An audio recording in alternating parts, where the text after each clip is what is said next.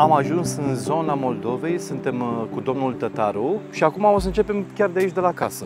Suntem în județul Neamț, zona de munte. În genere, muzeele în aer liber sunt făcute din uh, construcții originale din lemn, care se pot demonta, aduce în muzeu și asambla de nou.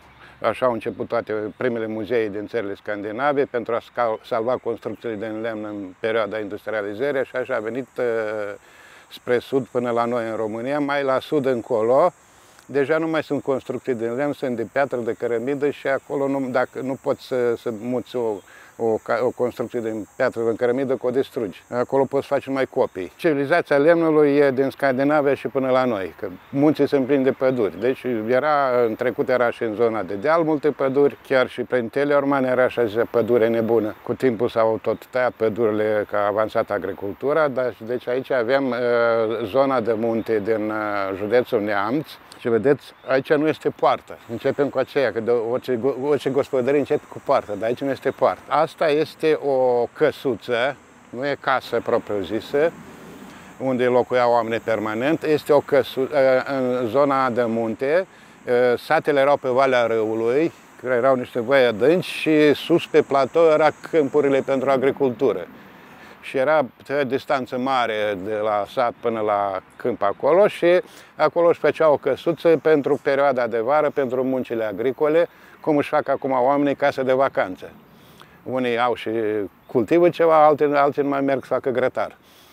Atunci mergeau la muncă, că din asta se hrăneau și își făceau o căsuță acolo și putea stea câteva zile sau o săptămână pentru o anumită muncă sezonieră, pentru altă muncă iar mergeau la fel, când era de recoltat la fel. Și asta fiind a sus pe platou, până acolo nu erau drumuri cu ce mergeau, puneau de sage pe cai sau cărau în, în spate. Și de asta nu este nici poartă, că poarta se face ca să intri cu carul. Aici nu era cazul de folosit carul și de asta e, asta e pârleaz. De acolo și expresia sar pârleazul. Da, da, nu mi-e făcut așa, deci e făcut mai înalt să nu treacă păsări animale și de e făcut trecere mai ca să poată trece oamenii. Asta e părleazul, că uite, ca o punte peste gard. Era și în sat, era între gospodările vecini, când trebuia să meargă să ceară ceva de la vecini sau acolo, era trecere pe gard de la o vecin la altul să nu iasă în drum pe o poartă, iar să intre pe altă poartă. Era o scurtătură. Deci aici, de asta începe în cazul dat, aici începe cu părleazul, nu cu poarta și mergem mai departe la casă. E o căsuță mică,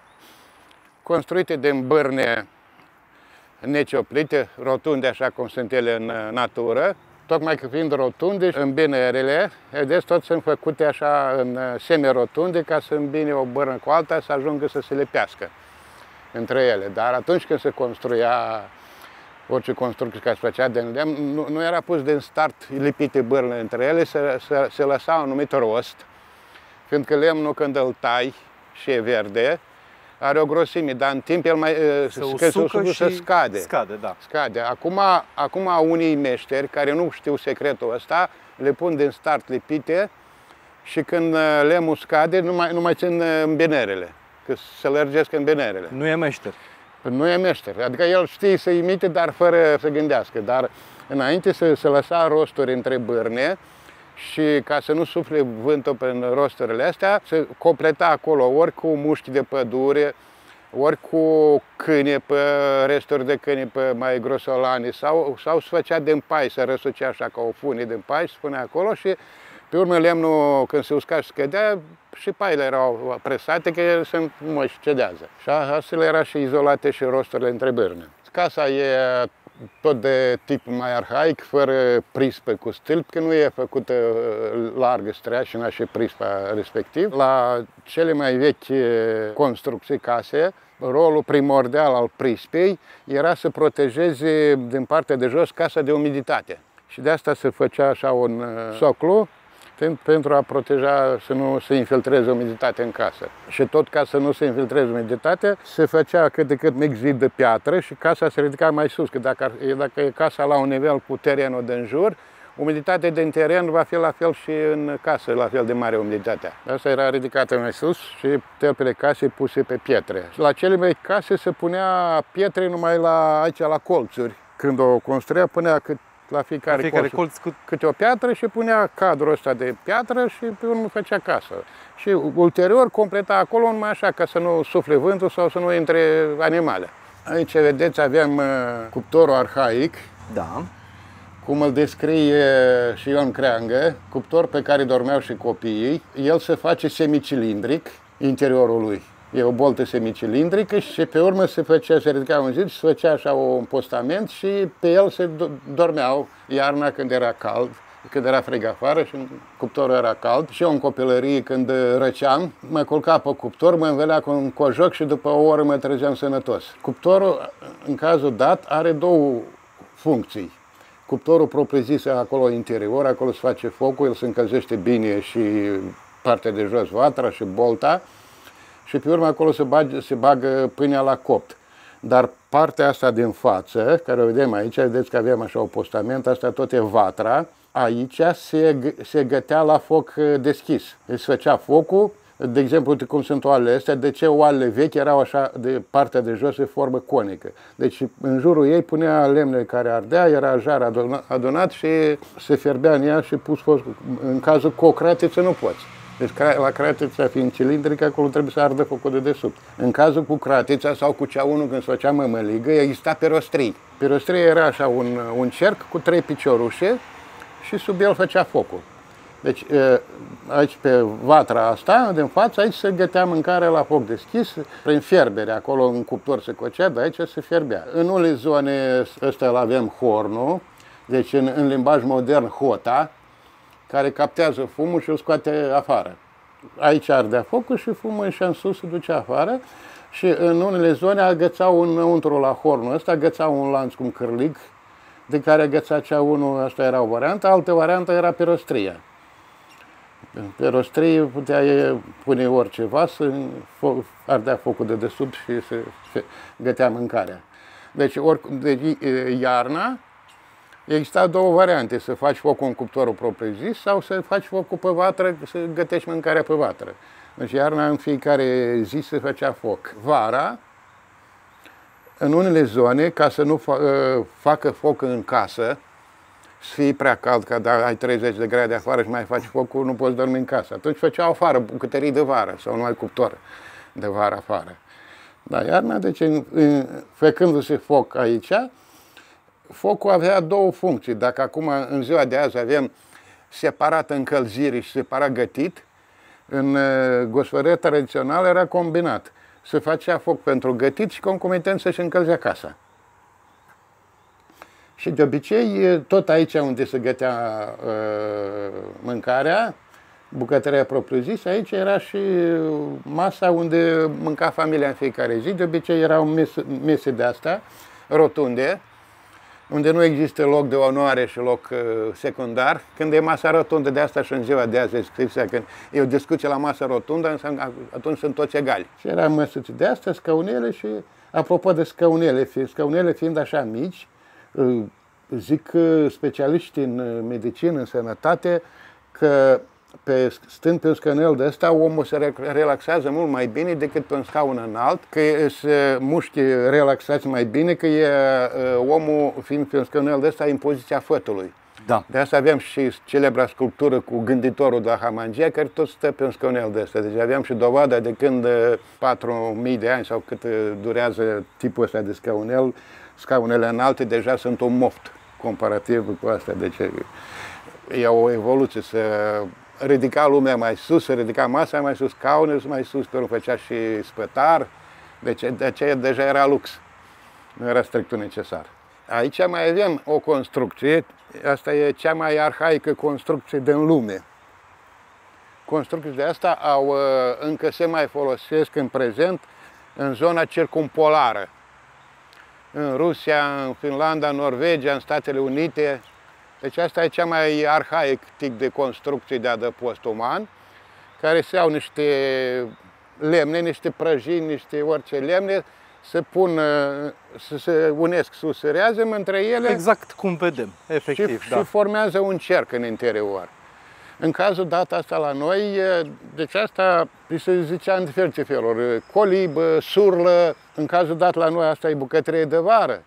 Dar uh, se folosea, de exemplu, mi-au povestit maramureșenii după război, încă în primii ani după război, când încă nu apărusele unelte pentru tăiat pădurea mecanizate în mașini, tăiau la comandă lemn pentru construcție, lemn pentru foc, tăia iarna, când că vara aveau munci agricole, dar iarna mergeau la lucru la pădure și mergeau, pădurea fiind departe, mergeau pe, toată, pentru o săptămână întreagă, de luni până sâmbătă. Și acolo în păduri, din copaci mai subțiri așa, își construia o astfel de adăpost, deci de iarnă. Deci avea un diametru de 6-7 metri și se culcau toți roată împrejur, cu capul spre margine și cu picioarele spre centru și în centru ardea focul și uh, se încălzea destul că înoptau în ea iarna. Și ce e interesant, deci interior avea acolo o cârlig unde agățau un ceun și își făceau și mâncare, ardea și noaptea și se încălzea și ce este interesant, că cercul este forma cea mai economică, rațională. Deci, culcându-se în, în cerc, așa de jur împrejur unui pis de altul, în umerul omului mai larg, în picioare mai îngust, deci încăpea până la 20 de oameni într-un fel de, de adăpost de ăsta. Apropo, este un adăpost montan în piatra Craiului, care tot, tot de forma asta și am, tot așa am înoptat acolo o dată, ne-a prins noaptea acolo, vreo 20 ceva de oameni am dormit tot așa în cerc. Aici avem o biserică de Moldova, deci avem uh, în muzeu în total avem patru biserici. Asta este biserica de Moldova, a doua care a fost adusă în muzeu. Prima biserică a fost adusă când s-a construit muzeul 1936, biserica de Maramureș. Asta este a doua, adusă din uh, Moldova, când s-a construit hidrocentrala de la Bicaz. Deci întotdeauna când se face o hidrocentrală este lacul de acumulare în amonte și dacă sunt uh, localități pe malul râului, sunt evacuate de acolo că se ridică nivelul apei câte barajul de înalt. Când pe la mijlocul anilor 50 a început să construiască hidrocentrala, câteva sate de acolo care erau pe Valea Râului au fost uh, mutate în altă parte și din unele de satele din viitorul lac de acumulare, satul Răpciune, Apropo, răpciune, știți că e ce înseamnă cuvântul răpciune. Deci avem uh, calendarul popular în care fiecare lună din an are denumirile ei. Ce folosim noi acum sunt termeni internaționali, luați de la romani. Dar calendarul popular avea alte denumiri. De exemplu, acum noi suntem în luna iunie, denumirea populară a lunii iunie este cereșar. Răpciune este septembrie. Am observat la ucrainieni, la polonezi, sunt oficial, oficial folosite astea denumiri populare locale, nu cele europene generale. Revenim, deci am vorbit de sat, satul a fost mutat exact și biserica a fost adusă în muzeu. Apropo, așa, așa cu mutarea satelor, acum avem și ultima biserică adusă, biserica din Oltenia, unde se, se extragea cărbune la suprafață și tot așa au mutat satul și a rămas biserica și cei care au exploatarea cărbunului au plătit toată, au finanțat toate cheltuielile de adusea muzeu ca să poată contra extragerea cărbunului mai departe. Construcția bisericii este foarte interesantă. Apropo, am avut o delegație de arhitecți străini a fost nu știu ce simpozion internațional cu ani urmă și când ne-am adus la biserica asta, s-au uitat și au zis că așa ceva e imposibil de construit. Din ce? Datorită cărui fapt? Datorită că e o construcție foarte complicată. Există alt tip de construcție de biserică, mult mai simplu, așa, care se numește în formă de navă. Forma aia de navă e un dreptunghi și care la un capăt vine curbat, da. e cum prora navei. Deci aia e simplă. Deci aia e simplă. Aia e simplă, că să, practic să cinci la... Aici vedem o formă diferită. Aici e o formă mult mai complicată. Nu, ave, nu avem unghiuri de 90 de grade la construcția asta. Da. Sunt uh, unghiuri, toate sunt unghiuri mai mari de 90 de grade și îndenerele astea sunt mult mai complicate, mult mai ușor să lucrezi la unghi de 90 de grade. Și aici mai este și altceva în cazul dat. Deci la bisericile cele în formă de navă, de obicei uh, partea rotundă e partea cu altarul care e, care e îndreptată spre răsărit și partea opusă care e spre vest, acolo la peretele ăsta lateral, opusă, aici e intrarea, ușa.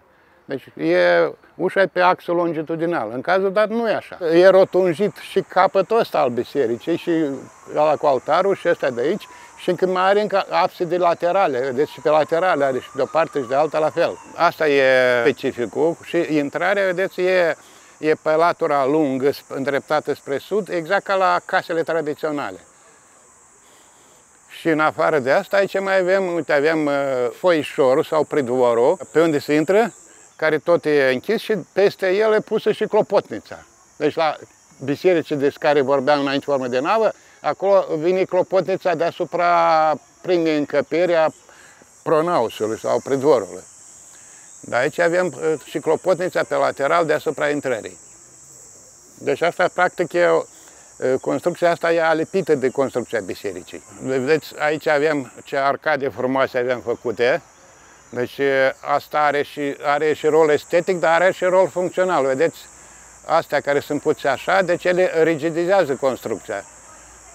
Unghiul ăla de 90 de grade îl, îl leagă ca să fie construcția mai, mai fixă, mai stabilă. Pe urmă sunt și prelucrate artistic. Aici era locul unde se ținea sfatul bătrânilor și pe acolo pe sus, vedeți, sunt niște inscripții. Acolo se scria și evenimentele cele mai importante din ce se întâmpla în viața satului, când a fost cu tremur, când a fost secetă mare, când a fost ger mare. Erau inscripționate aici evenimentele cele mai importante din viața satului. Deci sunt scrise cu cărbune. Uite, acolo avem 1855 sau 65, anul când tot s-a întâmplat un eveniment special din viața satului.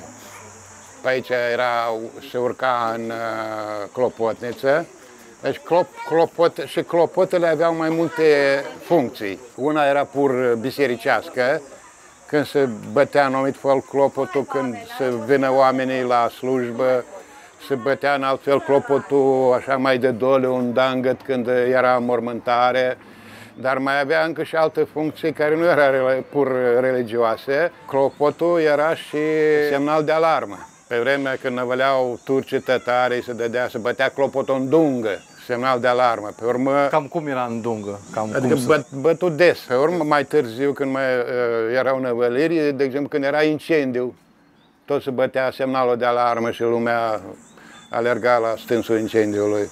Intrarea tot cu inscripțiile de, de epocă, cu alfabetul chirilic. Biserică de secolul XVIII. Tipul ăsta de construcție, ea este din lemn, dar de fapt ea repetă tipul de construcție din cărămidă sau din piatră că cărămida, piatra sunt piese mici și acolo poți să te joci cu, cu ele, să faci diferite forme. Cu lemnul e mai greu, dar de asta e una care o repetă pe cea de cărămidă sau piatră, fă, făcând așa linii aproape de rotund. Și la, la, fel, și, la fel și bolțile, deci în, în biserici în formă de navă, în biserici în formă de navă, bolțile sunt e semicilindru, deci e un dreptunghi pe care e făcut un semicilindru. Aici avem în formă de cupolă și, și astea două cupole sunt diferite. Una e cupola de aici din Pronaos și altfel e cupola din Naos. Vedeți cum avem aici? Deci sunt, vedeți, lemnele astea, zise de specialiști arhitecți, le zic nervuri, popular poate zic căpriori, și peste ele sunt puse scânduri. Deci avem, aici în cazul dat avem scheletul în interior și peste, pe deasupra este acoperit. Și ce mai este interesant aici, ce, la puțini biserici o să vedeți, numai la cele vechi. Uitați-vă, vedeți? Alea nu sunt puncte, alea sunt găuri. Da. Deci iarna, când e multă lume aici, și e frig, oamenii respiră, se ridică vaporii și în da, afară frig pot să condenseze și formeze apă care distruge și pictura și, și lemnul. Dar are făcute de, pentru aerisire ca să iasă surplusul de umiditate din atmosfera din interior. A, a doua cupolă, vedeți, e altfel. Acolo scheletul e pe din afară și pe urmă Scândurile sunt bătute pe, pe interior. Tot avem aici formă octogonală, ca și dincolo, dar structura altfel, aici e continuă, aici astea nervurile întrerup, dar acolo fiind pe din afară, ele nu se văd. Uite, avem laturile se văd unde sunt în colțurile îmbinate și la fel, vedeți, avem găuri de aerisire. Mi-amintesc când eram eu mic, și mă duceau la biserică înainte de Paști la împărtășanii, spovedanii, era biserica din uh, piatră și era frig afară și când de la respirație se condensa acolo vaporii și tot timpul cădea, cădeau picături și era mic și nu înțelegeam de unde, de, ce, de unde mă plouă în biserică, că nu e gaură în acoperiș. Uite și aici se poate vedea, aveam acolo în față unde aveam iconostasul, deci aici e toată cu icoane, Dincolo de iconostas este altarul unde preotul face slujba și unde femeile nu au voie să intre. Și avem două, aceea absida principală cu altarul și avem două abside laterale, că la biserici în formă de navă nu există. Deci în, în, în absidele astea laterale stătea corul. La unele biserici erau sus, uh, în spate aveau uh, un fel de balcon de stătea corul, dar aici puteau să stea și în astea două abside laterale. Deci planul construcției e mult mai complicat decât la biserici în formă de navă. Aici mai avem încă două piese care uh, consolidau uh, biserica, fiind așa în plan complicat, la zona de cutremur putea să se deformeze și acolo avem, de la un capăt la altul, acolo e o grindă, în spate la icoane, o grindă care leagă cei doi pereți, pereții longitudinal, să fie lege construcția. Da, se vede clar că și aici a avut o legătură, vedeți aici, și aici undeva este, e acoperit de pictură, deci și aici deci era, era o grindă care de aici lega cu, cu peretele ăsta. Deci era o legătură. De exemplu, am văzut la bisericile de zid, e chiar din fier o tijă, un terant care leagă cei doi pereți ca la, în zone de cutremur să nu cadă construcția. Alea fiind mai grele, chiar și mai repede se dărămână. Am văzut ceva informații din secolul XIX, când în București a fost, cred că, vreo 3 sau 4 cutremuri și că atunci au căzut multe, multe biserici, a căzut, a căzut și turnul colței. Uite, și piesa asta este foarte interesantă, de feronerie. Uitați-vă aici, e și o inscripție, dacă o luați mai aproape, vedeți, acolo e scris un an. Asta probabil când s-a făcut o renovare, o reparație, că biserica e de secolul XVIII. A, uite, chiar și, e și o, niște inițiale. Și aici deja aveam alfabetul latin, care ați văzut inscripțiile de și asta ce, ce brască care în ziua de azi nu se mai produc, nu se fabrică. Ați văzut, inscripțiile la intrare sunt încă cu alfabetul chirilic, care a fost schimbat deja în a doua jumătate a secolului XIX. Ștefan.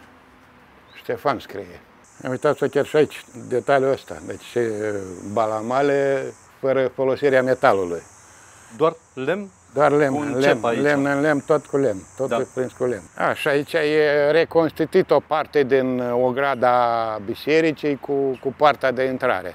Și în afară de asta, vedeți, aici avem niște mese care nu sunt din lemn, ci sunt din piatră. În uh, concepția populară, piatra este un material mort, e mineral și e și scos din pământ. Deci e legat cu lumea de dincolo. Și asta erau uh, mese pentru pomenirea morților. Și piatra e din lumea de dincolo și morții sunt lumea de dincolo, deci și masa de piatră e din lumea de dincolo. Pe când oamenii vii mănâncă la masă de lemn. Că lemnul este viu, biologic. Avem un copac care e natură vie, e plantă, tăindu-l și fabricând ceva din el, noi îi dăm o altă viață, deja de natură îl transformăm în cultură. Aici aveam uh, cea mai veche casă de muzeu e de județul Vaslui, din apropierea lungii Prutului. De asta este și acoperită cu stuf, că stuful crește în uh, lungi. De avem acolo și o grămadă întreagă de material de rezervă. Stuf, adică cea din da, dreapta acolo, deci stuful din dreapta? Stuf, stuful, acum toată lumea, stuf uh, sinonim cu delta. Stuful înainte se folosea în multe alte locuri unde erau bălți și unde creștea stuf. Deci în orice, unde o baltă crește și stuf. Mai e o plantă care crește în uh, baltă, e papura. Dar e mare diferență între stuf și papură. Deci stuful este un tub gol înăuntru, cu anumite noduri care îl închid tubul, dar e, e un lemn foarte dens. Și dacă e gol, e și ușor. Și papura, papura nu e goală de tot ușoară, pentru că are un mes poros. Tubul ăsta este foarte dens, mai dens decât el, e ruda lui din China, bam, Bambus. bambusul. E cam aceeași structură, dar e mult mai evoluat. Și fiind așa din, într-un lemn dens, e, e unul dintre cele mai durabile materiale de acoperiș. Mai, țigla e mai durabilă decât stuful. Mai ales dacă ai grijă să nu se adune gunoaie pe acoperiș din când în când să le mai mături la începutul sezonului rece, când încep ploile și dacă ai gunoaie ceva pe acoperiș și se oprește apa acolo și începe să degradeze. Construcția propriu-zisă e cel mai vechi tip de casă, patru pereți și atât. Nu are mai multe încăpere. O singură încăpere, cum zice științific, monocelulară, deci patru pereți și atât. Până în ziua de azi încă se folosește ca expresie, că când omul are casă, zice că are patru pereți. Deci asta era minimul necesar și asta minimul necesar era în, în secole trecute, când erau atâtea război, atâtea năvăliri a turcilor tătarilor, dădeau foc, ardeau tot. N-avea rost să construiești o casă mare, că oricum venea și ți-o distrugea sau fugeai tu și o abandonai și te stabiliai în altă parte. Și din cauza asta și lumea era mai mobilă, se muta de colo-colo localități întregi. Patru pereți era minimul necesar să ai una de post, să nu te plouă și iarna unde să stai la cald. Deci pereții sunt din uh, lemn de stejar, deci de truc de stejar despicat în două, nu cu ferestrău, ci cu toporul și cu pene. Despicat și din, dintr-un trunchi făcea două piese și așa din asta construia toată casa. Și uitați-vă ce structura șarpantei, ce arhaică e și asta făcută, deci tot aproape fără cuie.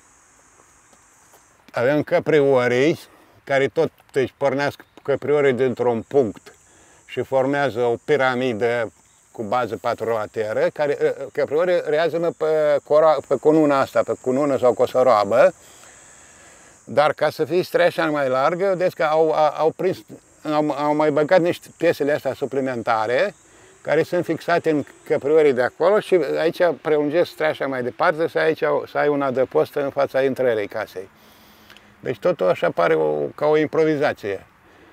Fără cui legate acum Apropo că și stuful, aici vedeți că stuful e legat cu sârmă, dar asta deja e varianta modernă. Înainte, tot, tot asta, legăturile se făceau cu mlădițe de răchită subțiri care se elastice. E mai ușor de lucrat cu sârma acum, dar nu e mai durabilă sârma decât mlădițele cele de răchite, pentru că sârma ruginește.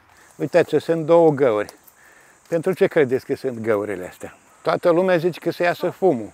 Dar fumul se ridică în sus, ar trebui să iei sub tavan găurile ca să iasă fumul. Și pentru aerisire la fel, că pe partea aceea avem intrare, pe două laturi avem câte o fereastră, dar aici e perete orb. Spuneam că atunci năvăleau și tătari și, astea, și erau și mulți hoți și Asta era ca să vadă din coace dacă se apropie cineva cu gânduri rele, hoți sau uh, jefuitori. Și asta era aici, era nu numai ca să vadă, dar asta era și un fel de ambrazură, deci putea să tragă cu pușca și apere casa. Deci, tocmai când, când cei care se apropiau nu, nu știau că vine cineva, că nu vedea, vedea că nu e fereastră, în mod normal asta aici avea un domn, nu se vedea și omul scotea să uita, nu se, de departe nu se vedea și îl vedea putea să tragă cu pușca și să apere casa. Eh, vedeți, aici încă, încă avem încă o gospodărie întreagă cu stuf,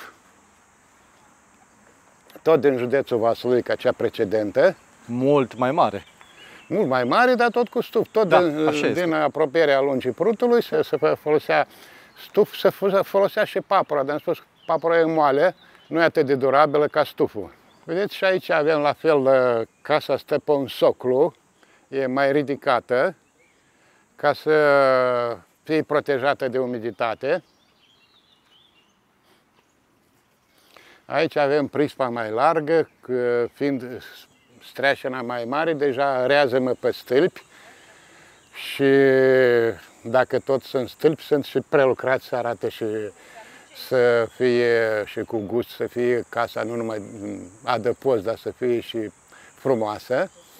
Și mai vedeți încă ce mai este specific uh, construcțiilor vechi, spre deosebire cele moderne. Vedeți că aici nu avem distanțe între... Vedeți că avem patru stâlpi la casă unul și altul la capete și doi. Deci nu e distanța egală între stâlpi, ei degerează mustreașina, dar un inginer modern i-ar fi pus la distanțe egale. Dacă i-ar fi pus la distanțe egale, stâlpul ăsta ar fi venit în dreptul intrării. În afară de asta, stâlpii mai indică și altceva. Deci aici, în dreptul stâlpului ăsta, aici avem un perete și în stânga lui avem o cameră. Dincolo la fel, la fel. Aici, în afară de casă, mai avem crama. Uite aici avem prima, ce vedem noi aici, ăsta este linul. Care este avantajul și specificul zdrobirii strugurilor cu picioarele sau cu mâinile. Acum, în astea moderne, zdrobitoare moderne, sunt doi, două valțuri acolo, făcute din metal, în prim, deci una, în primul rând, că mustul care din uh, struguri intră în contact cu metalul și influențează gustul și calitatea. Dar aici fiind totul biologic, totul biologic, cei care zdrobeau și vasul tot e din lemn, deci nu intra în contact uh, cu metalul una și a doua, că în așa de metal se strivesc semințele și dar semințele au ceva, o substanță toxică în ele. Călcând cu piciorul, nu se, nu, cu piciorul nu zdrobeai semințele. Partea a doua deja e teascu. Deci după ce era calcat și drobit cu picioarele, curgea mustul, dar încă mai rămânea, nu curgea tot. Ăla care curgea așa direct era de, de cea mai înaltă calitate și după ce, ce rămânea acolo amestecul ăla de struguri cu, cu, cu pelici, cu de-astea, se punea pe urmă în, în teasc. Vedeți, și teascul e totul din lemn, inclusiv, uite, avem șurubul, ăsta e făcut șurub din lemn, filetul. Tot ca să nu intre în contact cu metalul. Deci se punea aici, să învârtea șurubul și acolo presa treptat și aici vedeți că avem, uitați să e făcut jgheab. Aici punea un ciubăr de, tot de lemn și aici curgea. Deja asta era vinul de calitatea a doua. Pe urmă avem beciul, construcția arhaică, vedeți?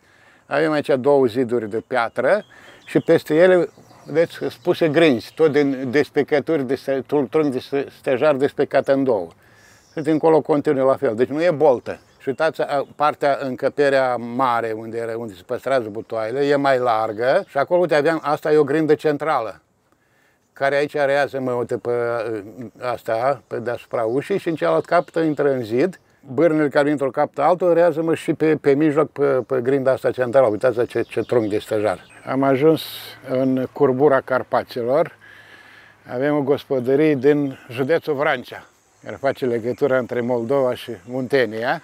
Vrancea propriu-zis, uh, zona Vrancea, care e mai puțin decât uh, județul Vrancea, deci e o zonă izolată mai spre munte. Țara Vrancea, despre care scrie și Dmitri Cantemir în uh, descrierea Moldovei, că erau ca un fel de republică, se păreau singuri, ei negociau cu domnia cât să plătească impozit la stat. Fiind zonă de munte, nu e un teren așa plat ca să fie localități compacte și era, case, casele erau un trecut mai împrăștiate, era distanță mare între case, era obositor să mergi de la o casă la alta.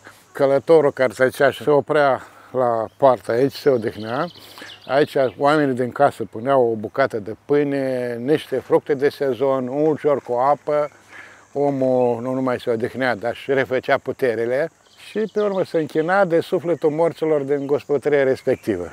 Asta era pomană de sufletul morților, dar nu era numai la anumite zile de pomenit morții, era permanent. Dar apropo și prin alte sate, ce-am ținut minte din copilărie, se dădea de pomană de sufletul morților și cu alte, nu numai la date fixe, dar și așa. De exemplu, s-a copt merele dintr-un pom care s-a copt acum, dădea și cineva de sufletul morților, s-a copt premii struguri, dai și altcuiva de sufletul morților. Deci era, ca așa să zice că dai, dai cuiva viu, dar are și pe cea lume și mortul ceva și deci cât, cât mai des dai, cât mai bine e pentru cel de pe cea lume. Aici aveam și partea foarte interesantă din uh, Vrancea. Nu mai aveam alte porți de genul ăsta.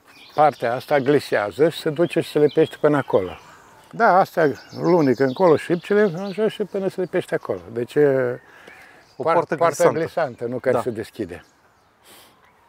Deci aici avem uh, casa acoperită cu șindrilă. Deci șindrila se despică, nu se taie cu ferestrău, nu se scândurele, cum zic unii și se despică. Avem uh, trunchiul rotund de copac, se despică în, uh, întâi în două jumătăți și pe urmă, se, de, pornind de la punctul central, așa radial se despică. Și așa se face șindrila. Orice lemn când îi tac cu ferestrău, pe acolo el rupe fibrele, dinții ferestrău rupe fibrele și pe acolo poate să pătrundă apă. Dacă îmi despici, se despică și fibra rămâne întreagă și mai, intră mai greu apa în lemn. Apropo, aici avem uh, de la construcția de alături, care e tot o construcție care era la unde erau terenele agricole în afara localității și e singura construcție din muzeu care avem, care și în drila, e fixate cu cui de lemn. Vedem cuiele, da? Da, puteți să vedeți și mai aproape. Deci sunt uh, cuile de lemn făcea din lemn de esență tare, de preferabil din tise, care este un conifer care crește în zona de munte, unde e climă foarte rece și fiind clima rece, îi crește foarte încet și fibra este foarte deansă. Rezistă cuile astea din lemn decât cele din fier. Că cele din fier ruginesc. Pot rucini, da. Dar astea nu ruginesc. Și asta tot era o construcție de unde erau terenul agricole, că e pivnița unde păstrau vinul și sus era o încăpere unde se opreau când veneau la muncă, în noptau. Deci tot e o construcție destul de arhaică, din bărne rotunde, prelucrate numai cu toporul. Are și o scară interesantă pentru urcat sus la camere. Uite, avem acolo în dreapta. E o scară dintr-un singur lemn.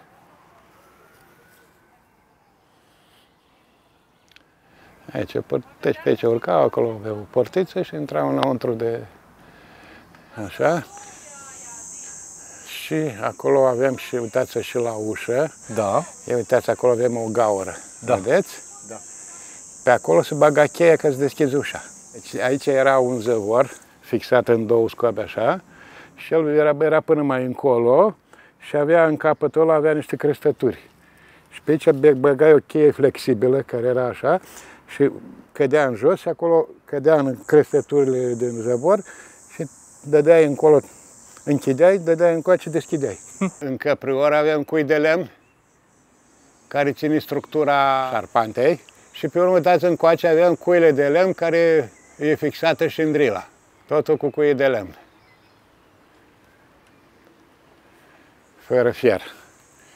Și Fierul era mai puțin și mai scump și de multe ori lemnul ține mai mult decât fierul. Deci în trecut fierul se folosea numai în locuri esențiale, unde alt, altfel nu se putea. Deci aici e relativ mai modernă casa, deci aici nu, nu avem numai lucru din uh, topor, aici din secure avem deja și lucrat în ferestrău, avem de balustrada cu trafor făcut cu ferestrău, avem aici podoabele făcute tot stâlpii, lucrați frumos și cu ferestău, te să vedeți, chiar se vede tăietura așa și pe urmă jurul tăieturii a făcut sculpturile și sus la fel. Aici avem reconstituită atmosfera unei case tradiționale. În primul rând avem punctul central, îl avem la dreapta. Avem aici la dreapta, avem instalația de încălzit care deja aici e compusă din două piese. E cuptorul și plita. Aici avem plita.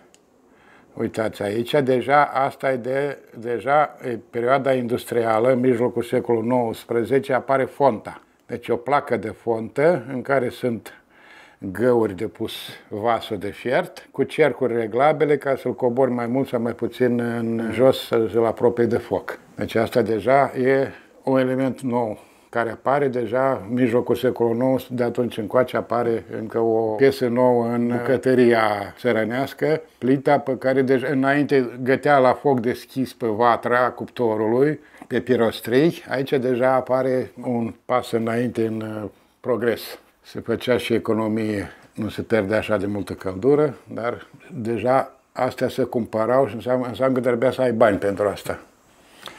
Deci, avem bucă, bucătăria, care e și... În care se și dormea. Locul cu vatra era, deci se, un, una se cocea pâine, alta se gătea mâncarea și fiindcă aici deci se făcea, oricum se făcea focul pentru gătit, era și cald și iarnă și aici se și dormea. Deci în cazul dat chiar aveam două paturi, deci putea aici să fie tata și mama pe un pat și copiii mici pe alt pat sau uh, în alte cazuri, putea, când uh, era încă o cameră încălzită, puteau aici să fie bunica cu nepoții și mama cu tata și în altă cameră. Deci aici chiar avem și două mese. Avem masa asta prima rotundă, e masa mai veche, masa bătrânească, masa rotundă cu scăunele mici și de ce masa, uite, vedeți, are trei picioare, nu patru.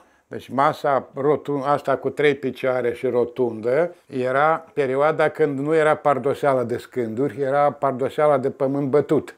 Și aceea nu era perfect netedă. În cazul când avem trei picioare, poate fi și mai puțin neted, nu contează, deci oricum stă stabil. Dacă masa cu patru picioare e un picior, nu ăsta, se clatină masa. Deci, deci masa cu patru picioare deja ține de perioada când se trebuie făcută pardoseala dreaptă.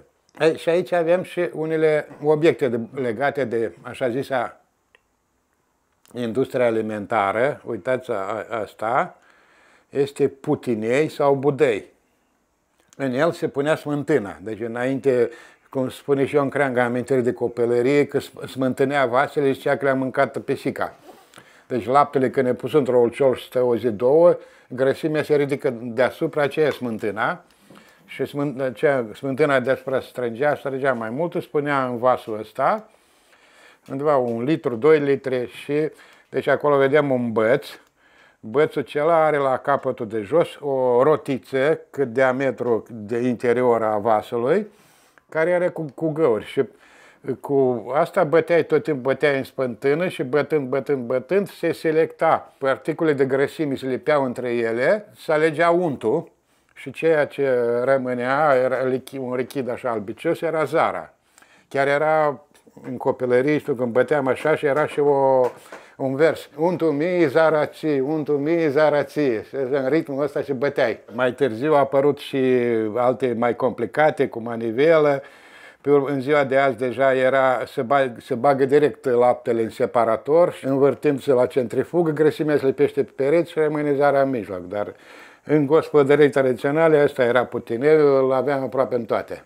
Aici aveam o cămară în care erau păstrate unele obiecte care nu erau de folos în fiecare zi, ci numai periodic. Avem o roată de car foarte arhaică, uite se vede că e, cum e făcută, e din, din șase piese sau ciolane. De obicei din asta se făcea roata de car din, din șase piese care erau prinse butucul și spițele butucul se făcea la strung, și, dar toate celelalte piese, restul erau făcute cu bardă și cu dalta. Avem uh, plug, plug arhaic de lemn, deci plugul ăsta avea două piese din fier.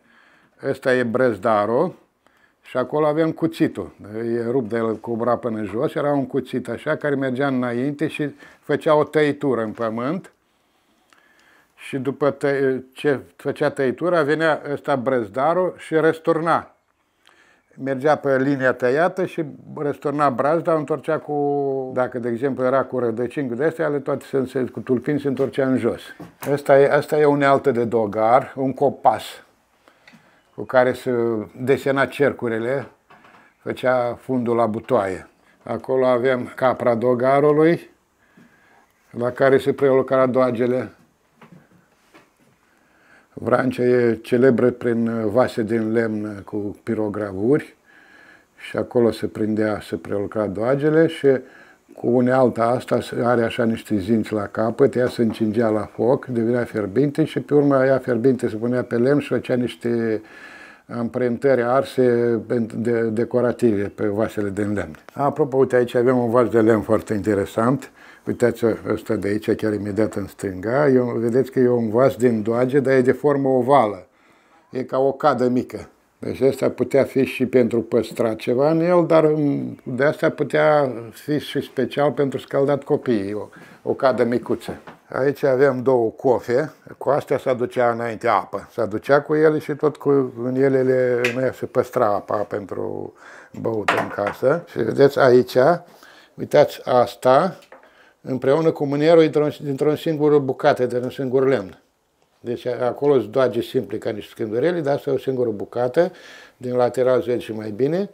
Era mânerul care, de care era ținută și o singură bucată, aici toarta asta din acel lemn tăiată și cap, capacul, care tot vedeți că el, ca să nu se piardă, dacă era separat se pierdea, dar așa e prins aici, deci se închide și se deschide Și are deasupra are și ornament făcut cu pirogravură, cu unealtă care am arătat-o. Erau și mai mici pentru băut, asta era pentru adus apa și păstrat. Aici avem camera de oaspeți, în cazul dat avem și tot așa cu încălzire. Avem încălzire și pentru camera asta, pat și dacă venea, de exemplu, la sărbători, venea un vizită din altă localitate, dacă nu încăpeau să doarmă pe pat, aveam și lavița. Lavița, vedeți că e făcută foarte largă, cum aveam în trenuri la vagonul de dormit sau la cușetă, vedeți că e foarte lată, se puteau dormi oameni și aici. Aici, respectiv, avem și lada de zestre. Orice fată când se mărita avea zestrea și lada cu, în care avea zestrea. Deci în fiecare casă exista cel puțin o ladă de zestre. Dacă avea o fată pentru măritat, mai pregăteau și pentru o fată o, o ladă în care să-și împacheteze zestrea. Asta e ca să intre pisica când vrea și să iasă când vrea. Înainte erau șareci dă un nou șoarece, mai da. ales dacă păstra ceva alimente în cameră, dar așa uite, e făcut să, nu numai să intre de afară, dar era să ducă și în cameră, unde, de exemplu, aici era bucătăria, mirosea mâncare, aici veneau șoarecei. Aici mai, mai avem încă, am, am mai avut case din județul Neamț, chiar și biserica din județul Neamț, încă asta, încă e o casă de județul Neamț. Și ce avem aici, un detaliu interesant, așa, unic, sub camera mică din stânga casei avem și pivniță. La multe case Adică chiar acolo, în zona La multe case e pivniță sub o cameră, dar aici ce este interesant este acoperișul care îl vedem, care acoperișul de la casă aici e mai îngust, dar deasupra pivniței, unde intrarea în pivniță, acoperișul extins e făcut mai larg. De obicei, la alte case e dreptunghiular. Ăsta e rotund. De ce? Nu, nu atât de ce, ci cum. Dreptunghiular e foarte simplu să-l faci. Ai pus patru lemne, le-ai unit între ele și gata, ai, ai un dreptunghi, că e, patra, e mai alungit, mai lărgit, dar aici e rotund. Și cum s-a obținut să fie rotund? Uitați-vă, uitați-vă la piesa asta. O vedeți? O vedeți? Da, e semirotundă, rotundă, da. Da, rotundă, aproape semirotundă, să zicem, segment de cerc aproape de semicerc. Și uitați-vă, asta nu e cioplită dintr-un lemn foarte gros, că la e decupat așa și e făcut... Ăsta e un lemn, uitați-vă, care are fibra, uite crăpătura asta care pe, undeva pe mijlocul lemnului a crăpat, uite, merge până acolo. Deci ăsta, ăsta așa a fost el de gros. Așa a fost, așa a fost de, gros, de gros și așa a crescut el? Și așa a crescut curbat. A fost crescut intenționat sau l-au găsit și pur și simplu l-au folosit, oare? Putea fi și intenționat, dar putea fi să fi găsit unul întâmplător, așa.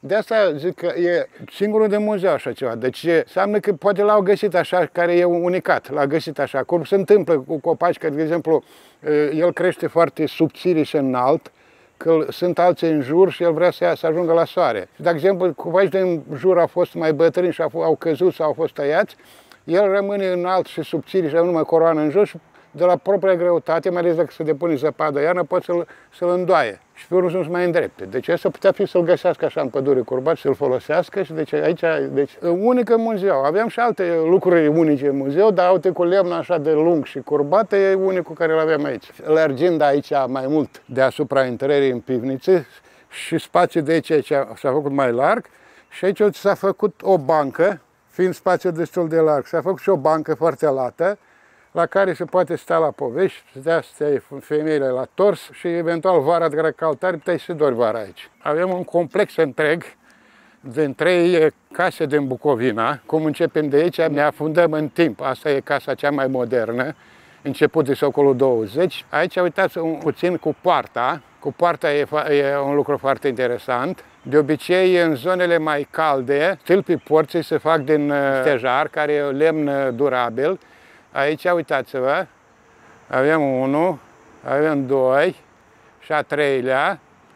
Toți sunt din lemn de rășinoase, fiindcă Bucovina e o zonă foarte rece, e în nord de tot și nu crește stejar. Deci singurul lemn de, pentru care îl aveau era lemn de brad de pin. Lemnul de brad de pin băgat în pământ putrezește foarte repede. Și uitați cum au rezolvat aici cu poarta. Vedeți? Aici și la poartă și la gard jur împrejur, nu e îngropată în pământ. Stâlpii, la, la stâlpi s-a făcut câte o talpă, în care sunt fixați stâlpii cu niște proptele care rigidizează să nu se răstoarne și tălpile astea stau pe piatră și în felul ăsta lemnul e protejat să nu potrezească și poate ține și mai mult decât stejarul care e îngropat în pământ. În cazul cu poartă de genul ăsta neîngropată în pământ, tot e singura de muzeu. Aici e gospodărie de om înstărit. Nu Pentru așa? că este mare. E mare, e multe construcții și casa e destul de... Pentru timpul ei, care are mai mult de 100 de ani, era casă modernă pe atunci. Avem uh, ce este specific Bucovinei, în unele zone de Bucovina, lemnul e nete încuit și se face numai un chenar la, în jurul ușii și a ferestrelor. E un fel de încadrament încuit și pe unul și văruit și de așa un contrast uh, toată construcția de culoare închisă și avem un încadrament de culoare deschise, care înviorează, are deja casa fiind modernă, are și foișor. La intrare, până deschizi ușa să nu te plouă, când plouă afară. Aici avem uh, cel mai interesant, are mai multe încăperi, dar cel mai interesant este camera pentru oaspe. În Moldova se spune casa mare și dacă ne uităm, intrăm și ne uităm, se vede chiar că e casă mare, e foarte mare, adică uh, un fel de salon care nici în apartamentele moderne în puține găsești o cameră atât de mare, camera de îndreapta pentru oaspeți. E un spațiu foarte generos, Aici puteau primi mulți oaspeți. Aici e, avem și niște mobile mai, avem și mobilă mai arhaică, avem și mobilă mai modernă. Uitați, de exemplu, patul. Patul, de, deja asta e pat de făcut în atelier meșteșugăresc, e foarte lucrat, chiar e și lăcuit.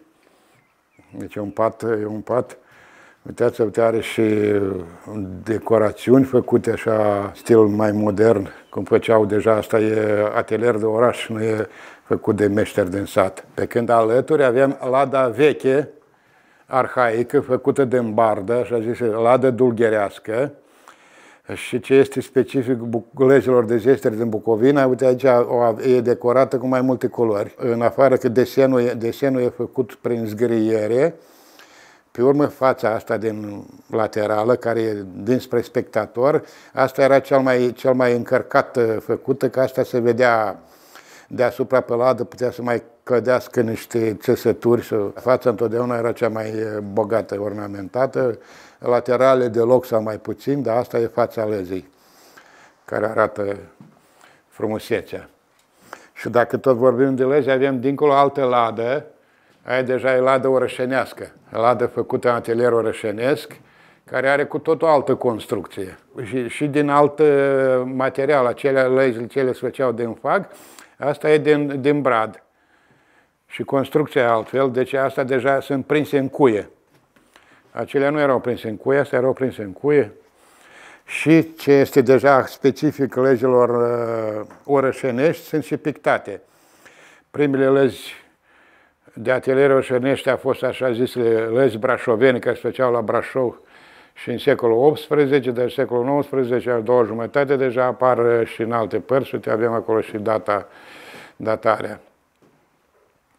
Aici avem niște obiecte specifice Bucovinii, Baltagu, cine l-a citit, Mihail Sadoveanu, Baltago, deci asta era o, o, o altă specifică numai Bucovinei. Chiar zice, pe vremea când era Bucovina în componența Imperiului Austriac, se plătea o taxă ca să ai dreptul să porți baltag. Asta era numai cap, capi, gospodarii înstăriți purtau uh, baltag. Și alături avem trâmbița, trâmbiță mai modernă făcută din tablă și ca să fie lungă, dar totodată să nu încurce, deja e încovoiată. Deja aici, aici avem o, ceva între obiectele făcute de țărani și influența de tot așa de orășenească cu de la instrumentele muzicale moderne. Ca să terminăm cu mobilierul arhaic, uite aici avem masa e făcută în epocă industrială, scaunele sunt arhaice făcute din bardă. Și cel mai amuzant este spătarul făcut dintr-o nuia curbată scaunul propriu-zis cioplit din bardă și acolo spetarul făcut dintr-o nuia necioplită. Și avem trei aici de, în casă de scaune de genul ăsta, care ilustrează foarte bine epoca de trecere spre epoca industrială. Nuiele ca să încovoaie, le băga în cuptor, după aceea cu până și temperatura destul de înaltă sau uh, la flacără, se nea deasupra flacării și atunci el fierbinte se încovoia fără să se rupă. Și soba deja e, nu, aici nu mai avem cuptor, e sobă modernă care e numai pentru încălzit, nu și pentru gătit. Pe când din coace, din coace avem uh, atmosferă caldă la propriu și la figurat. Avem cuptorul, Aici ai cuptorul unde se cocea Care pâinea. e foarte mare, tot ansamblul de aici e da, foarte mare. Da, păi, ocupă un sfert de cameră. Da. Deci ăsta e centru spiritual. Focul care încălzește casa e focul viu. Avem aici cuptorul, aici unde se făcea focul în cuptor și cocea pâine. Aici pe vatră, când nu a apărut plita, aici se fierbea și mâncarea și mămăliga făcută pe vatră. Și mai târziu deja, uite, avem trecerea de la pre-industrială, perioada industrială, când apare fonta și plita de fontă. A, uite, apropo, aici avem și creștele pentru jăratec. E și cu decor. De luat un jăratec și de mutat foc dintr-o parte în alta ca să nu mai folosești dacă era chibrite, dacă nu cu amnarul. Și ce este specific numai Moldovei, parcă și Maramureșului, care cred că tot influență Moldovei, se facea deasupra o platformă unde se putea dormi la cald. În alte zone era așa cum e el rotund și atât. Dar aici se putea și dormi. Uite aici, comparativ cu dincolo, avem pat mai arhaic. Aici avem și război de cesut, care este foarte arhaic. Și avem și leagă, nu? Care nu în fiecare casă avem leagăn, dar aici avem leagăn și ăsta e un tip de leagăn.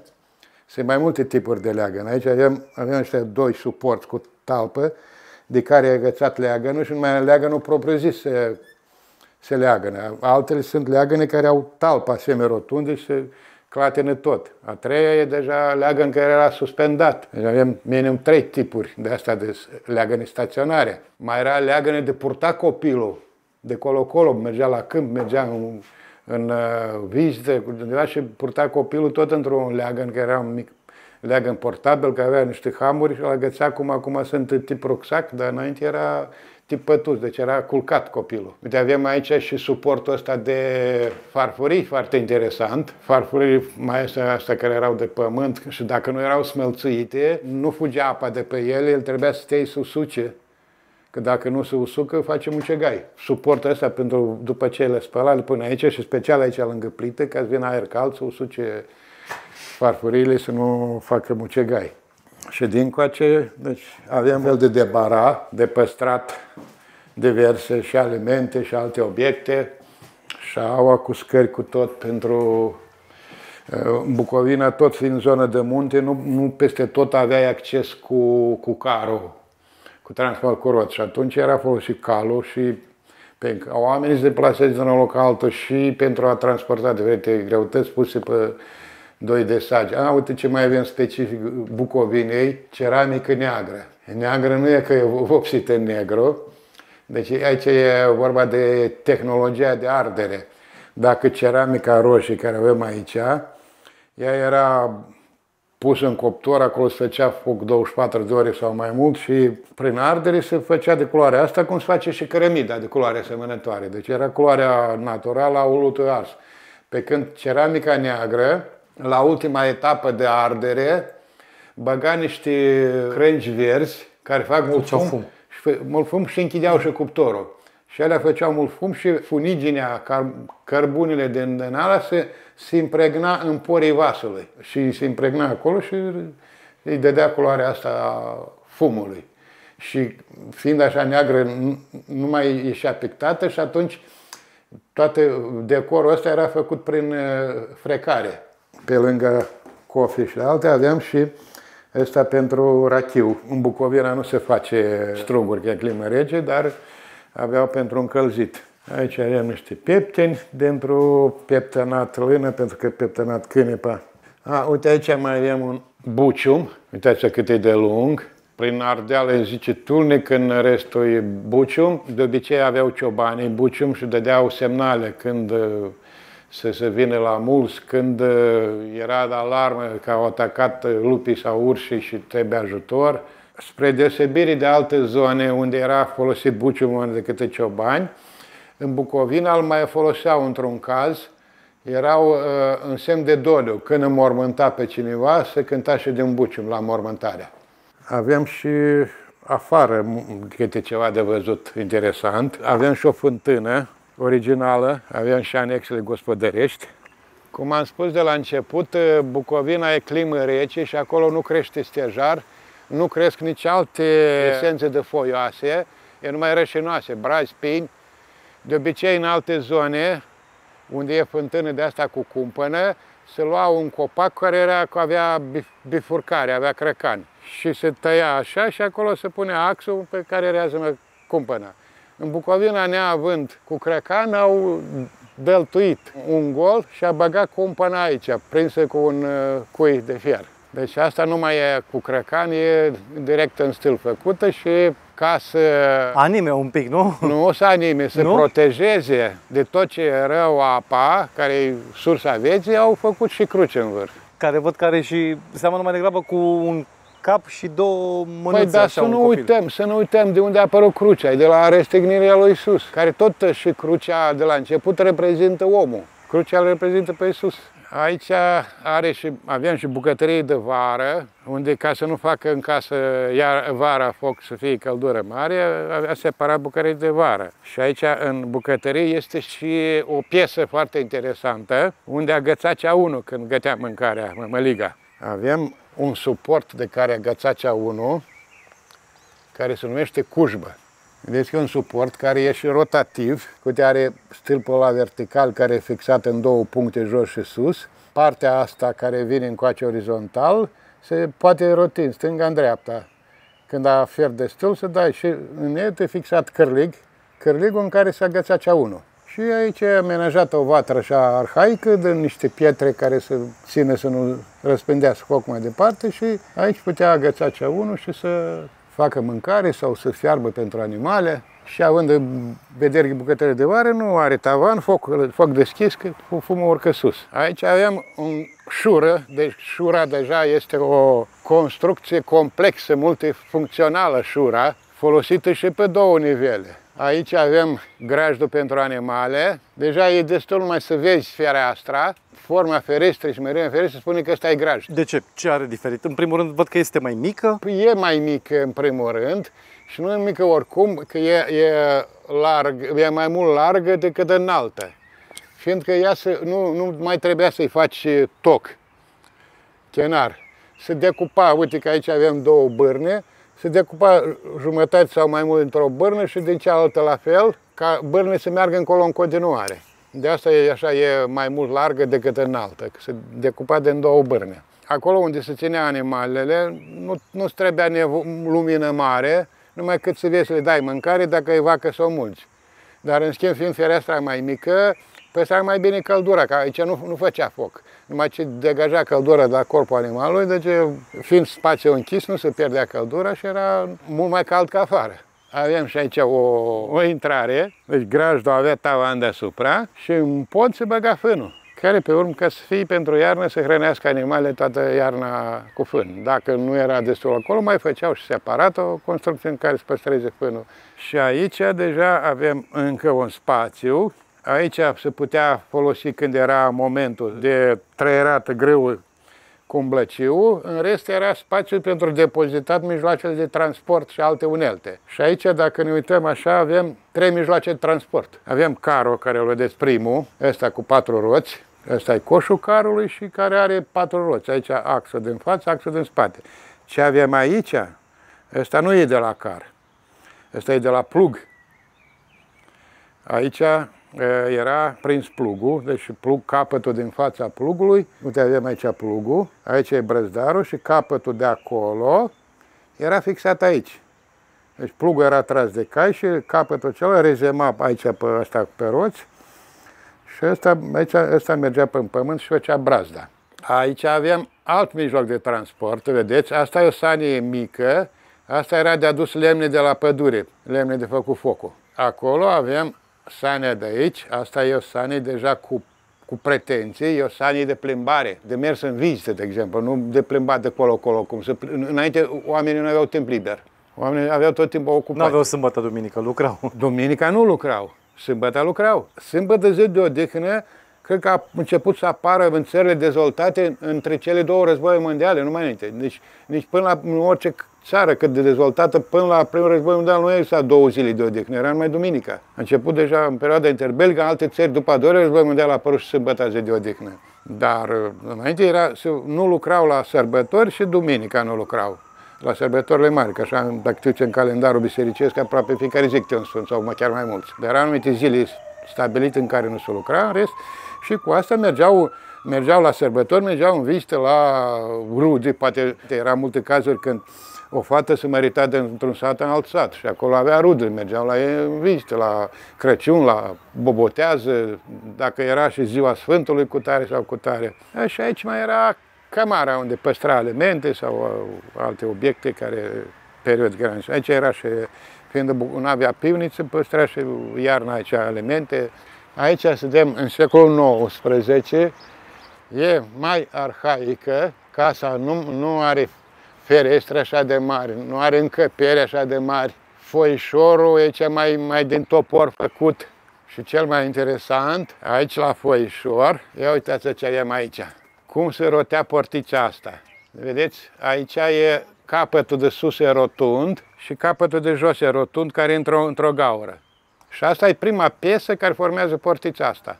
E drept unghiular aici, dar capătul de sus și de jos e rotund.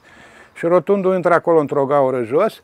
Rotundul ăsta e prins aici tot cu, cu de asta, care vedeți tot e cu cui de lemn fixată în perete. Și asta se rotește așa. El rămâne fix și mai se rotește și așa, aici deschis portița. Da. Fără metal. Aici e un cui de lemn și uitați aici tot cui de lemn. Și jos cui de lemn. Totul de lemn. Tipul ăsta de construcție a fost de fapt prima primul tip de casă. Casă cu o singură cameră, ați văzut pe aia care am văzut-o noi în o singură cameră, deasupra intrării e prelungit mai mult acoperișul ca să te adăpostești, adică să e o zonă de tranziție între afară și înăuntru. Poți stai și faci ceva când plouă, poți să cât te chinui să deschizi ușa să nu te ude, deci e o zonă de tranziție care deci e semi-închisă este închisă. Apropo, am văzut uh, la primele temple grecești, încă în uh, perioada arhaică a Greciei antice, primele temple exact planul ăsta l-au. Tot așa o încăpere și aici un spațiu semi-deschis, sprijinit pe doi stâlpi. Și primele case, eu bănesc tot așa a fost, că uite abia aici intrarea, deci intrarea pe latura îngustă. Și pe urmă spațiul ăsta l-au închis și ăsta a devenit tinda, încăperea de trecere. Uite aici avem și o fântână foarte interesantă, față, comparat cu fântâna care a dus acolo. Asta e o fântână mult mai arhaică. Uite aici avem ghizdul fântânii, un trunchi. E un trunchi de copac cioplit în mijloc. Ghizdul era nevoie, de ghiz în genere era nevoie să protejeze să nu cadă gunoaie în apă, să nu cadă vreun copil, să nu cadă animale. Dar uitați, aici e sistemul, sistemul ăsta, astea două crăcane, sunt prinse de grinzele de sus și în el e băgat vârtejul ăsta pe care se înfășoară lanțul. Drept că aici mai vechi se puneau frânghii, la noi nu au pus lanțul ăsta care arată prea modern în uh, comparație cu restul construcției. Aici avem manivela, de aici se învârtea, co co convârtea o cobora jos să pleacă cu apă, pe învârtea invers și ridica apă. Dacă mai vechi era frânghii, nu era lanțul de ăsta nichelat. Și aveam a treia casă, cea mai veche, secolul XVIII. Se vede și după tipul constructiv. E cam cea mai diferită așa din da, de aici. Da, da, după tipul constructiv. Ați văzut că acolo, la celelalte două, am avut lemn cioplit. Aici e lemnul rotund cum la doboră de pădure. Și cu respectiv și cheutorile unde se îmbină, tot așa semicirculare. Da, și ce mai aici este interesant, vezi, ca să au, au lăsat capetele astea mai lungi și în fel aici, în față, s-a făcut un, fa- un spațiu semi-închis, prelungind la capătul ăla, de casă la capătul ăsta, făcând bărnele, lăsându-le mai lungi, s-a făcut un spațiu semi-închis, aici puteau să facă diverse munci când afară ploua, putea să stea la taclale în zile de sărbătoare sau duminica, la schimb de informații, la socializare fără rețele de socializare. Fiind astea două așa mai prelungite, acoperiși de ploaie și așa, dar fiind asta așa, aici nu, nu sufla nici vântul. Și tot aici pe prispă avem unealta, care tot era în fiecare gospodărie. Cum acum băutorii de cafea care se respectă au în casă râșnițe de cafea. Asta era râșniță de cereale și în fiecare casă era cu grâu pentru, cu făina pentru făcut pâine, se poate măcina mai multă și la moară și să o ai depozitat undeva să o folosești mai mult timp. Piaț, piatra de jos, de dedesubt, care se numește zăcătoare, zice zăcătoare, că ea nu se mișcă. Și asta de deasupra e piatra alergătoare. La fel și la moară. Exact. Astea sunt două piesele principale. De exemplu, putea fi, era unele râșnițe care piatra de desubt, aceea zăcătoare, era mai mare, mai largă și ne era făcut adâncitură în care intra asta la altă. În cazul dat aveam butucul ăsta masiv de lemn, în care cea de desubt e la fel de mare ca asta, fiindcă e spus amândouă un lemn. Ăsta e un lemn mai lung, care aici vine fixat aici și de aici se, partea de jos, asta el o, o, o, se rotește, de aici vine fix. Deci Asta mai zice hădărac, deci cu, cu aici folosea pârghia. Bară de asta era, aveau toate casele înainte. Aici se scotea hainele, țesăturile de lână la aerisit, covoarele, ca să nu se mulțească moleile. Când spăla ceva, tot pe asta agăța, că aici e sub uh, acoperiș și nu trebuie să le strângi că vine ploaia. Deci la toate casele vechi așa, exact de tipul ăsta aveau. Vedeți că sunt așa ca niște... Vedeți că asta e un fel de chiotoare. Vedeți, e o scândură cu o gaură. Da și la celălalt, celălalt capăt la fel și el îți băga o prăjire. Putea, la unele case care sunt mai mari, are de o parte a intrării și cealaltă parte a intrării. Aici fiind numai o, o singură cameră și tinda cu intrarea, au în partea asta, dar la alte case avea două. Putea să aibă și pe lateral, care aveau streașnă mai mare și pe lateral. Continui despre construcția casei, am vorbit cum era afară, acum ne uităm cum e înăuntru. Vedeți? Uitați aici, e tavanul, e tot făcut din despicături, din trunchiuri de lemn. Nu, nu de scândură, ci din despicături, care sunt mult mai groase și izolează termic mai bine. Vedeți, aici nu avem tavan. Nu e nevoie de el, Uh, camera unde stăteau oamenii, unde se făcea focul să fie cald iarna, acolo era tavan, aici nu era un tavan, că aici se gătea, aici era să, păst- să păstra diverse produse și obiecte și ce este aici interesant, încă n-am arătat nicio casă, uitați aici, pe aici ieșea fumul și asta e cauza de, de ce aici nu e tavan. Prin perete iese încoace și la toate casele vechi așa era, deci fumul ieșea prin perete. Da, aici e cuptorul, vedeți hornul da.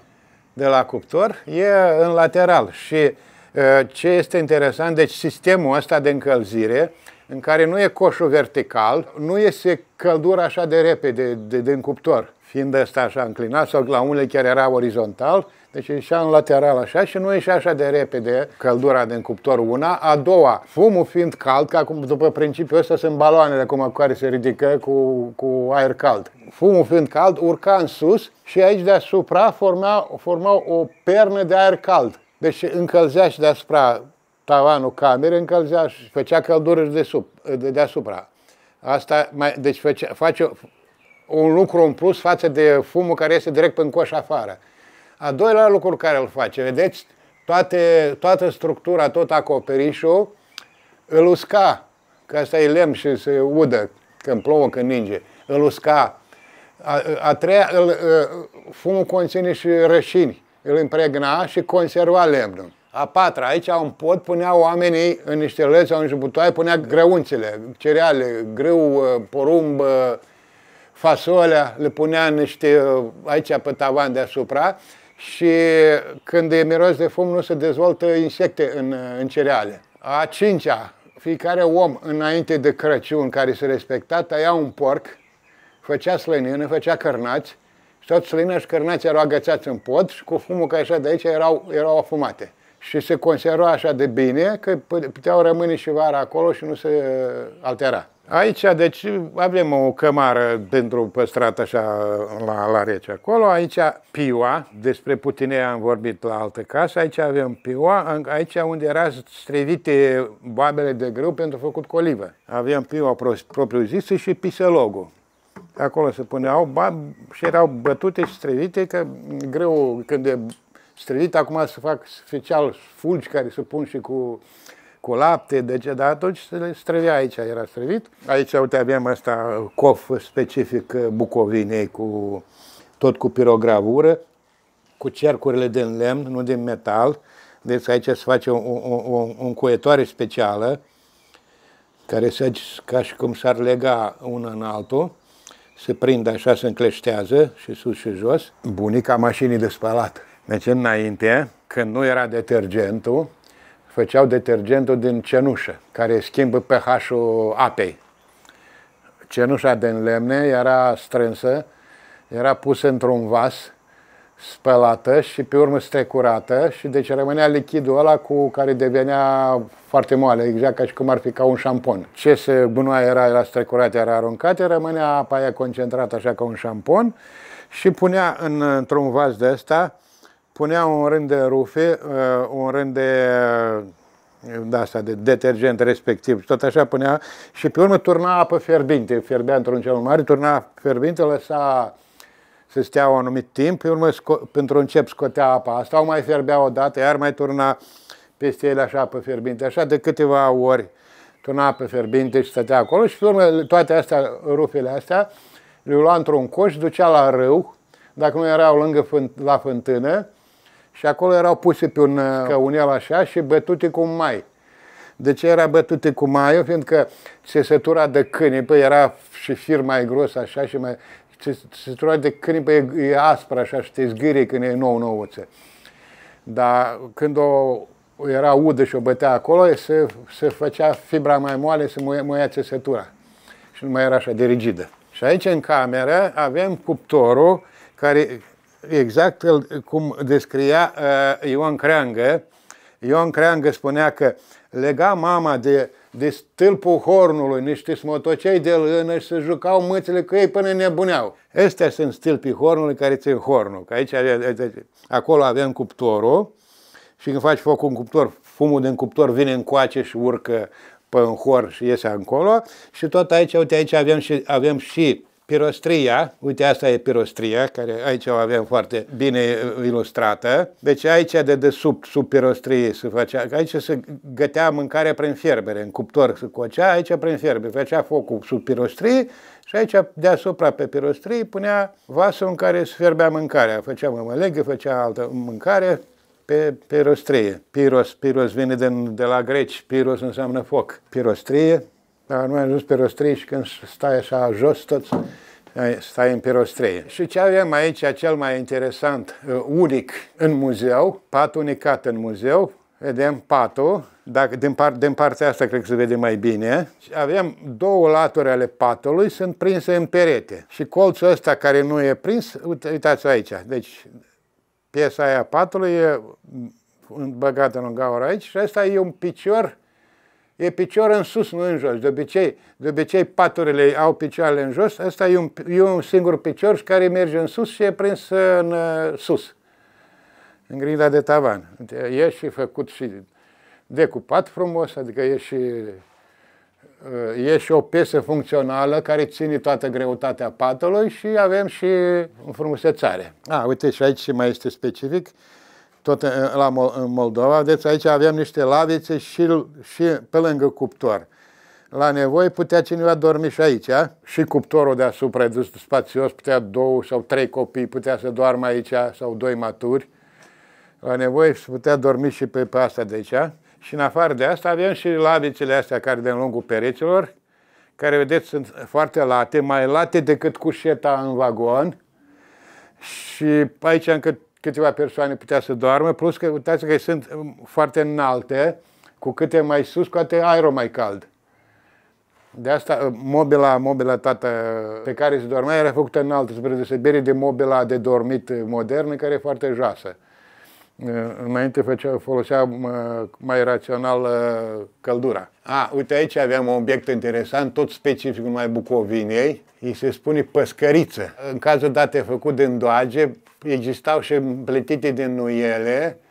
Deci în Moldova se merge la înviere, la slujba de înviere, se merge cu pască, de aici a devenit păscărița, cu pască, cu ou roșii, cu slănină, cu unt, cu câte puțin din toate felurile de mâncare care se gătit pentru Paște. Preotul, după slujba de înviere, simțește la toți mâncarea asta din păscăriță și fiecare deci, mergea la biserică, un membru a familiei, și pe mergea acasă și scola pe toți dimineața, să de noi copiii, ne spălam pe față cu un ban ca să fim bogați, cu un ou alb ca să fim sănătoși, cu un ou roșu ca să fim rumeni la față și după aceea ne așezam la masă și mâncam întâi din simțitul de la biserică adus în păscăriță.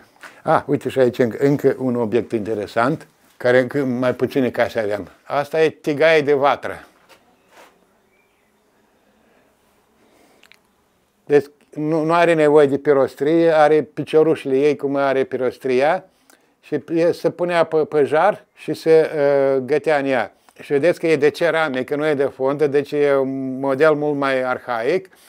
Și uh, de ce uh, de ceramică? De exemplu, dacă ar fi fost de metal, când prăjești ceva, se lipește, formează elemente cancerigene. Ceramica, lutul și piatra, că se, mulți apuceni să fac și tigăi din piatră. El, cât nu ar fi focul de puternic, ele nu se încălzesc tare și nu, nu se arde mâncarea în ele, nici nu se lipește. Am, fost, am văzut, că acum am văzut și mi-am amintit că am fost odată în Bucovina și mi-a arătat o bătrână o tigaie de asta și spunea că asta o ține numai pentru post, în, că prăjea în ea în ulei. Asta sunt. E ceramica de Bucovina, avem cu blidaro, de obicei așa are două părți, are partea de sus deschisă, unde spun farfurile și aici unde ținea pâinea și alte elemente, dulapul închis. S-a preluat modelul ăsta și la mobila modernă de bucătărie.